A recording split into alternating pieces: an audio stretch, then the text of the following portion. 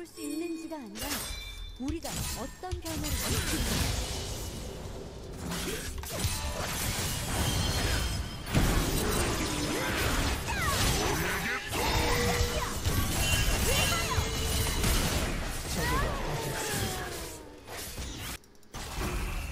우린 영웅이 될 수 있어.